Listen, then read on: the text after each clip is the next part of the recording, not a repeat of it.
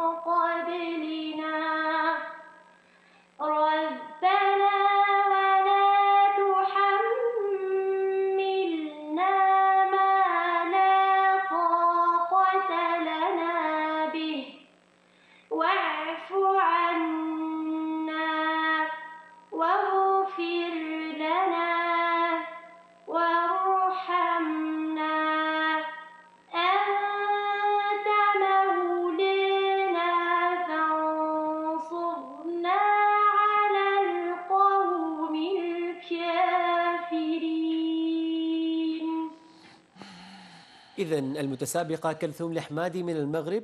تعليقكم شيخنا. بارك الله فيك يا بنتي. الله يرضى عليك. يعني أنا شاكك أنه في مؤثرات صوتية. ودائما التنبيه يقول بدون مؤثرات صوتية. ما أقول أجزم ولكن أرجو أن لا أحد يستعمل المؤثرات الصوتية التي تعطي صدى. هل الصدى الذي سمعناه من الغرفة؟ غرفة خالية من الأثاث. بتعمل صدى ولا في جهاز؟ ما أدري. على كل حال الصدى يعني بالنسبة لنا يتعبنا في تقييم الحروف. هل عرفتم لماذا نقول لا تضعوا مؤثرات؟ حتى ننظر إلى القراءة على حقيقتها. الأمر الثاني بنتي وأطعنا. بدك تبيني كل الحروف. لا قبل أطعنا. آمن الرسول. بالنسبة لإخواننا اللي عم يسمعونا بنتنا آه كلثوم كانت تقرأ برواية ورش عن نافع وورش عنده في مد البدل إما يمده حركتين أو أربعة أو ستة. يعني ممكن يقول ورش آمن الرسول وممكن يقول آمن الرسول وممكن يمده ستة. آمن الرسول بما ولهذا شرح ليس هذا محله. لكن بنتنا الله يهديها يعني بدت آه بعدين صارت تموج هذا المد وما بيصح هذا يا بنتي. قلتي آه كملي على نفس الوتيرة. ما بيصير الانتقال من طبقة صوتية إلى طبقة أخرى في حرف المد الواحد لا يصح. الأمر الثاني وأطعنا. الواو ما واضحة يا بنتي. وأطعنا وأطعنا. بدك تقولي و وأطعنا. كل حرف في التلاوة لابد أن يكون واضحا. هذا معنى الترتيل. الترتيل مأخوذ من قولهم ثغر مرتل.